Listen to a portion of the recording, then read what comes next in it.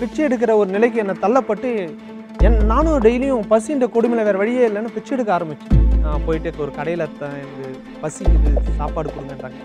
அப்போ அந்த hotel survey என்ன பண்ணுறாரு இது எடுத்துகிட்டு வந்து தண்ணி எடுத்து வந்து சுடு தண்ணி மூஞ்சில் ஊற்றுறாரு இந்த பன்னெண்டு மணி நேரத்திலே இவ்வளோ வேதனையும் வலியும் இந்த சமுதாயம் நம்மளுக்கு கொடுத்தது. நம்மளால் தாங்க முடியாது. அந்த அம்மா சொன்னாங்க முப்பத்தி ரெண்டு வருஷம் ஒரு ஒரு நாளும் இந்த ஒரு ஒரு நைட்டு நரக வாழ்க்கை வாழ்ந்திருப்பாங்க. ஒரு பெண் எந்த அளவு தொந்தரவு பண்ணியிருப்பாங்க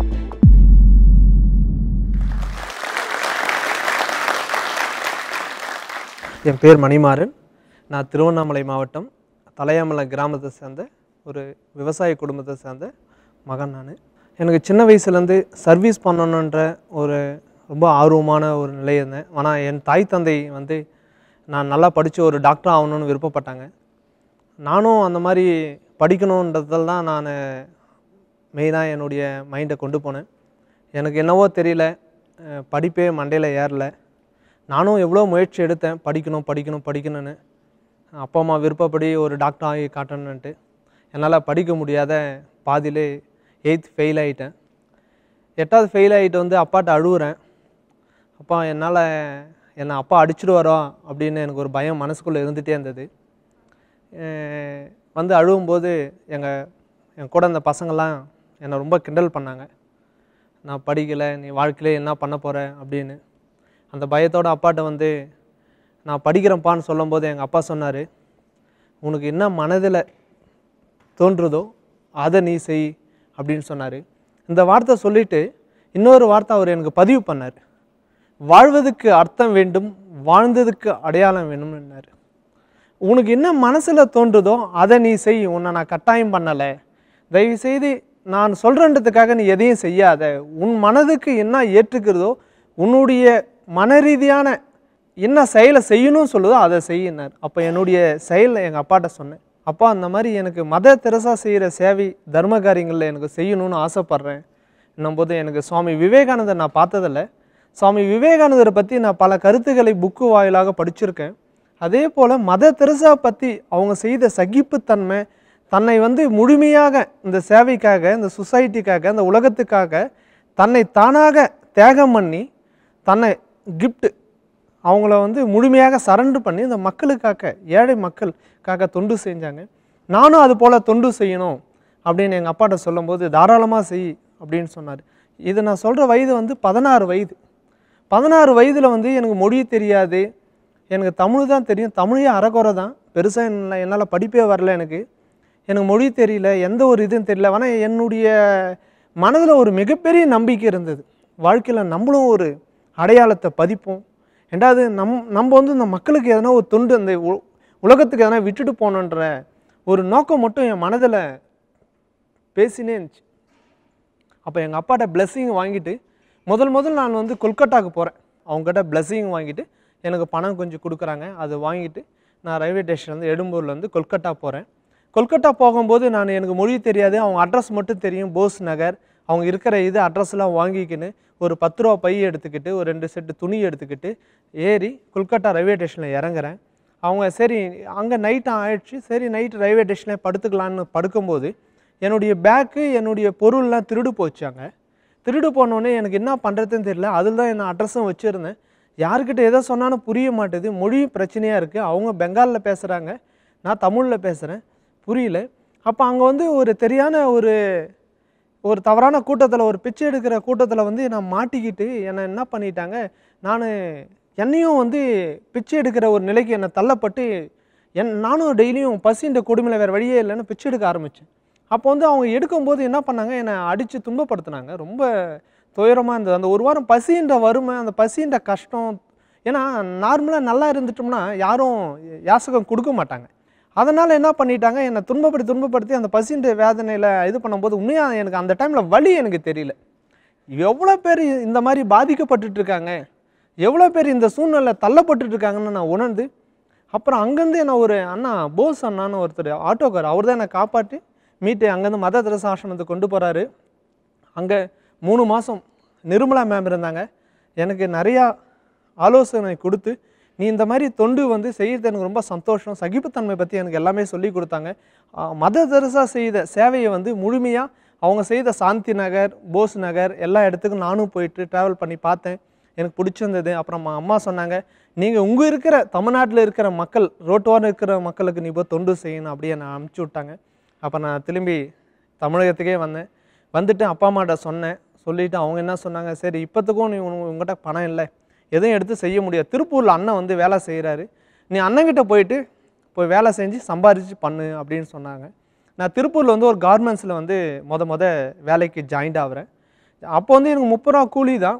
பெருசாக கூலிலாம் இல்லை. முப்பது ரூபா கொடுப்பாங்க ஷிஃப்ட்டுக்கு முப்பது ரூபா எடுத்து அந்த மொதல் மாதம் சம்பளம் ஆயிரரூபா எடுத்தோம்னா என் தந்தைக்கிட்ட கொடுக்கும்போது நீ எதுக்கு போனால் எதுவும் எடுத்துன்னு வந்து ஏன் எங்கிட்ட அந்த அமௌண்ட் கொடுக்குற. நீ இது வந்து தொண்டுக்காக போனால் தொண்டுக்காகவே நீ இது இது செலவு பண்ணலாம். அப்படின்னு சொல்லும்போது அப்போ வந்து நான் ஆயிரம் ரூபாய்க்கு அப்போ வந்து ஒரு பொட்டலம் சாப்பாடு வந்து பத்து ரூபா ஐம்பது பொட்டலம் ஐநூறுரூவாய்க்கு வாங்கிட்டு ஒரு கோல் பேக்கில் எடுத்துக்கிட்டு சைக்கிளில் கிரிவல பாதையில் மொத மொதல் அந்த அன்னதானம் கொடுக்குறேன். எல்லாருக்கும் கொடுக்கும்போது ஒரு மனையில் பாதிக்கப்பட்ட கொடுக்கும்போது தூக்கி எரிஞ்சிடறாரு. எரிஞ்சிட்ட உடனே கொஞ்ச நேரம் கழித்து அந்த சாப்பாடு நான் அப்படி கொஞ்சம் தள்ளி போனோடனே பிரித்து இப்படி சாப்பிடும்போது அவர் முகத்துலேருந்து ஒரு சந்தோஷத்தை நான் மிகப்பெரிய ஒரு சந்தோஷத்தை நான் பார்த்தேன். அந்த திருப்தி தான் என் வாழ்க்கையில் வந்து ஒரு திருப்பு முனையாக மாற்றி ஏன் இவங்களுக்காக நம்ம சேவை செய்யக்கூடாதுன்னு? இந்த அதுக்கு முன்னாடி கொஞ்சம் எண்ணங்கள் இருந்தது. முழுமையாக என்னால் நான் அர்ப்பணிக்கணும் அப்படின்ற ஒரு எண்ணங்களில் உள்ளே வந்து ட்ராவல் பண்ண ஆரம்பித்தேன் அதுக்கப்புறம் இது நம்ம ஒழுங்குபடுத்தி நம்மளை நெறிமுறையாக நம்ம இதில் கொண்டு போகணுன்ட்டு ஏபிஜே அப்துல் கலாம் சாரை வந்து சந்திக்கணுன்ற முயற்சியில் நான் இறங்கிட்டேன். இறங்கி two thousand eight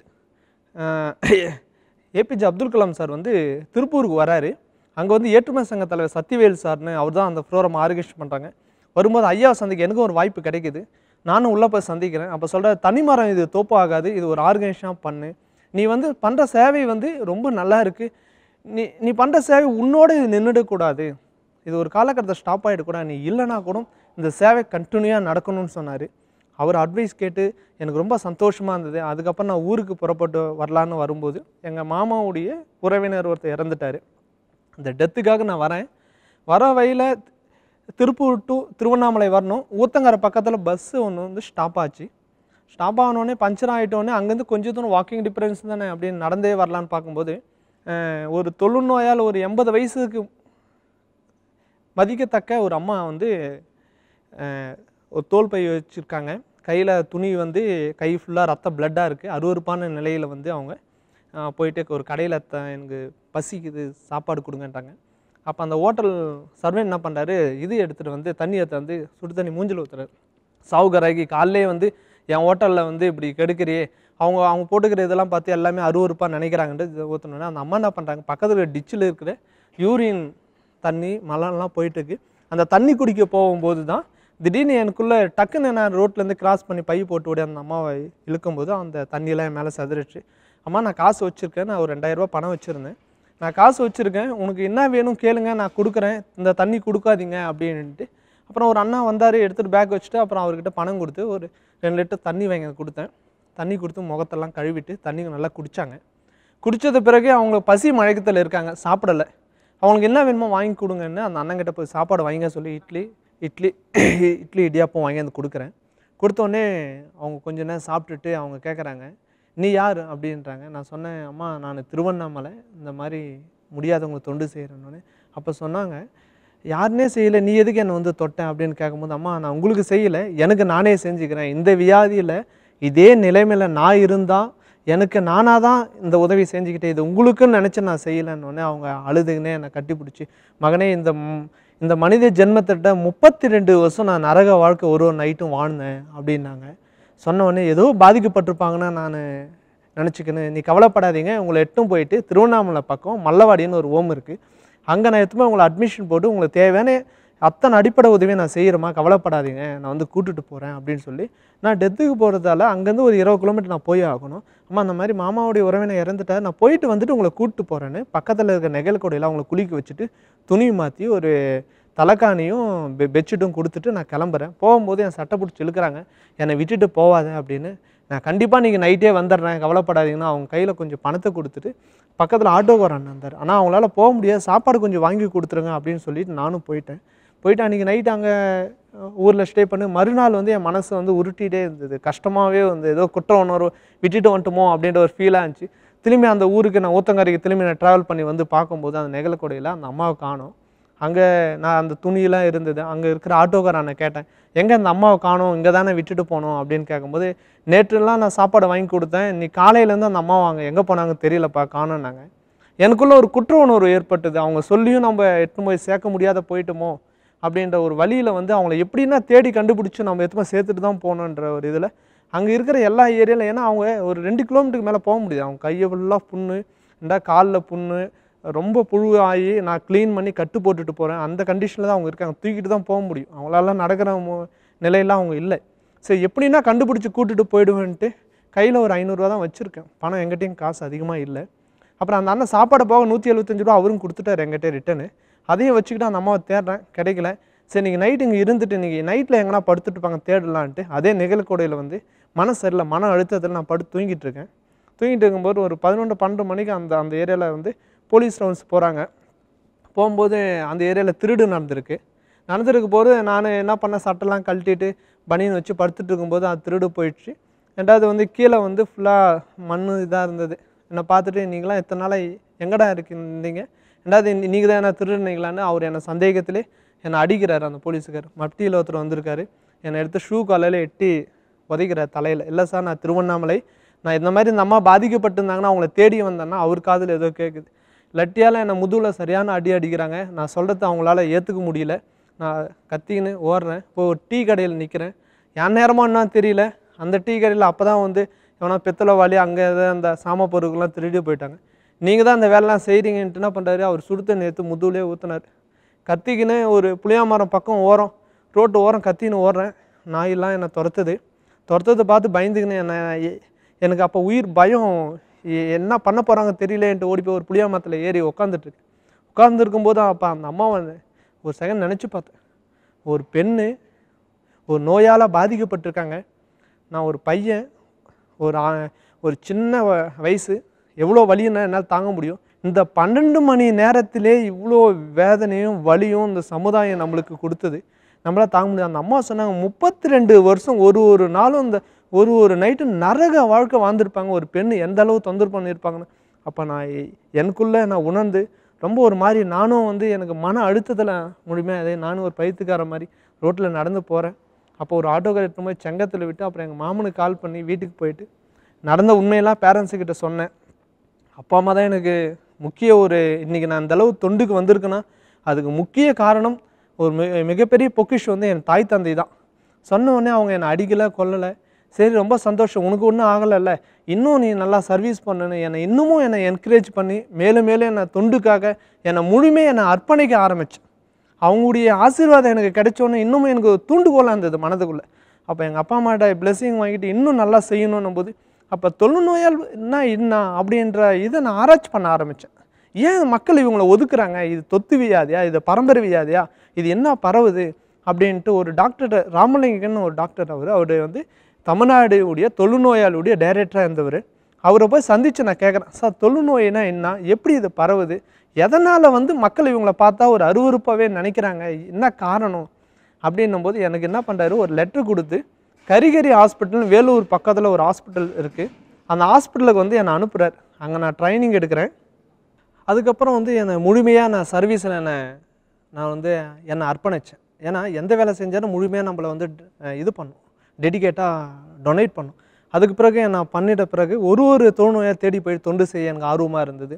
ஐ இதை பார்த்து வந்து ரெண்டாயிரத்தி பன்னெண்டில் வந்து அமெரிக்கா பயோகிராஃபி இன்ஸ்டியூட்னு யூஎஸ்ஏலேருந்து பெஸ்ட் சோசியல் ஒர்க் கோல்டு மெடல்னு எனக்கு ஒரு அவார்டு அறிவிச்சிருந்தாங்க. அந்த அவார்டும் எனக்கு கொடுத்தாங்க. கொடுத்து என்னை இன்னும் என்கரேஜ் பண்ணி ரெண்டாவது ரெண்டாயிரத்தி பதினாலில் வந்து டைம்ஸ் நவ் சேனலில் வந்து நேஷ்னல் சேனலில் வந்து அமேசன் இந்தியன்ஸ் ஆஃப் ஃப்ளோரா மஞ்ச் டாப் டென் ஹீரோ அப்படின்னு. ஆர்டினரி இந்தியன் எக்ஸ்ட்ரானரி ஸ்டோரின்னு ரெண்டாயிரத்தி பதினாலில் வந்து எனக்கு அந்த அவார்டு எல்கே அத்வானிஜி கையால் அந்த அவார்டு கொடுத்துருந்தாங்க. ரெண்டாயிரத்தி பதினஞ்சில் வந்து தமிழக முதல்வர் ஜே ஜெயலலிதா கையால் a best social worker chief minister state youth award என்ற அவார்டும் எனக்கு கொடுத்துருந்தாங்க. அதே வருஷத்தில் ரெண்டாயிரத்தி பதினஞ்சிலே வந்து தொழுநோயாளிக்காக இந்தியா லெவலில் சிறந்த சமூக சேவகர் என்ற நேஷ்னல் அவார்டு பிஎம் அவார்டு அது. பிரதமர் அவார்டும் எனக்கு ரெண்டாயிரத்து பதினஞ்சில் நேஷ்னல் அவார்டும் கொடுத்துருந்தாங்க. இது போல் பல அவார்டுகள் பல இது எனக்கு கொடுத்து கௌரவிச்சாங்க. அதே போல் எங்கள் அப்பா ஆசைப்பட்ட மாதிரி நான் என்னால் பேருக்கு பி- பின்னாடி வந்து டிகிரி வாங்க முடியல ஆனால் பேருக்கு முன்னாடி ஒரு பட்டம் சமூக சேவகர்ன்ற பட்டத்தையும் எனக்கு வந்து இது வரைக்கும் நாலு யூனிவர்சிட்டியில் மதிப்பொரு முனைவர் பட்டம் கொடுத்தாங்க டாக்டர் பட்டம் கொடுத்தாங்க. அப்போ தான் எங்கள் அப்பாட்ட எதுவுமே கொடுத்தேன். அப்போ தான் சொன்னேன் பதினாறு வருஷம் கழித்து இந்த டாக்டர் படம் கொடுத்தோன்னே ரொம்ப சந்தோஷப்பட்டார். மேலும் வந்து இது போல் தொண்டுகளை நம்ம செய்துட்டு வந்துட்டோம். நம்ம பசங்களுக்கும் நம்ம இருக்கிற வாலண்டியர்ஸ்க்கும் கொண்டு வரணுன்ற இதில் இவை இப்போ இருக்கிற காலகட்டத்தில் மேலும் மேலும் இது போல் தொண்டுகளை எல்லா மனதிலையும் கொ- கொண்டு வந்துட்டுருக்கும். அதே போல் இந்த உலகத்தில் ஒரே ஒரு விஷயம் நான் சொல்ல விரும்புகிறேன் மண்ணுக்கு மனிதன் உரம் மனிதனுக்கு மண் உரம். இதுதான் வாழ்க்கை. வேறு எதுவுமே இல்லை. வாழ்வதற்கு அர்த்தம் வேண்டும் வாழ்ந்ததுக்கு அடையாளம் வேண்டும். ஏன்னா ஒரு ஒரு மனுஷன் நம்ம ஏதோ வாழ்ந்தோம் ஏதோ இறந்தோன்னு இருக்கக்கூடாது ஒரு பதிவு இருக்கணும். அதுக்கு பிறகு யாருமில்லை நீ நினைக்காதே உலகமே உனக்கு தான் மறக்காதே.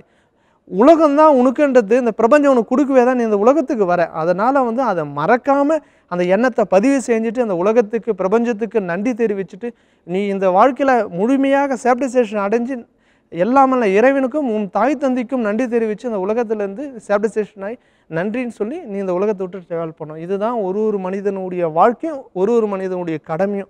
ஏன்னா இந்த வா- என்னதான் பேர் புகழ் சொத்து பணம் பதவி எத்தனை அவார்டு வாங்கினாலும் உண்மையான சொல்கிறேங்க நான் உணர்ந்து சொல்கிறேன் வேறு யார் சொன்னதும் நான் கேட்கல. எனக்குள்ளே நடந்த விஷயங்கள் சொல்கிறேன் இது எல்லாமே மாயை பொய்யான வாழ்க்கை. உண்மையான வாழ்க்கை என்பது என்ன தெரியுங்களா? தன்னை அறிந்து புரிந்து இந்த உலகத்தில் நான் ஒரு பதிவு பண்ணிட்டு இந்த உலகத்தை விட்டு ட்ராவல் பண்ணணும் அதுதான் உண்மையான வாழ்க்கை. ஒரு ஒரு மனிதனும் புரிந்து வாழும்போது தான் அதோடைய வாழ்க்கை தன்மையை முழுமை அடைஞ்சு இந்த உலகத்தை விட்டு போகும்போது நமக்குள் வேற யாரும் திருப்தி அடைவானா? நமக்குள் திருப்தியோடு அந்த உலகத்தை விட்டு போவோம். எல்லாருக்கும் உங்களுக்கு சொல்லிக்கிறது என்னன்னு பார்த்தீங்கன்னா தயவு செய்து மற்றவர்கள் செய்கிற நினச்சிக்கின்னு எதையும் செய்யாதீங்க. உங்களுக்கு நீங்களே விதை விதைச்சிக்கிறீங்க விதை அறுவடை பண்ண போகிறீங்க நினச்சிக்கிற செய்து விட்டுட்டு நம் பெற்ற தாய் தந்தையும் நம் குருமார்களையும் அவங்க தேவையான கடமைகளை செய்து விட்டு அவங்களுக்கு நன்றி தெரிவிச்சுட்டு இந்த உலகத்துக்கு யாத்திரை வந்தோம். நித்திரை அடைஞ்சிட்டு சமர்ப்பணம் அடைஞ்சு விட்டு இந்த உலகத்தை விட்டு போனோம். நன்றி வணக்கம் இறைவா. இந்த வீடியோ பிடிச்சிருந்தா ஃப்ரெண்ட்ஸோட ஷேர் பண்ணுங்க. கருத்துக்களை கமெண்ட்ஸில் மறக்காமல் பதிவு பண்ணுங்கள்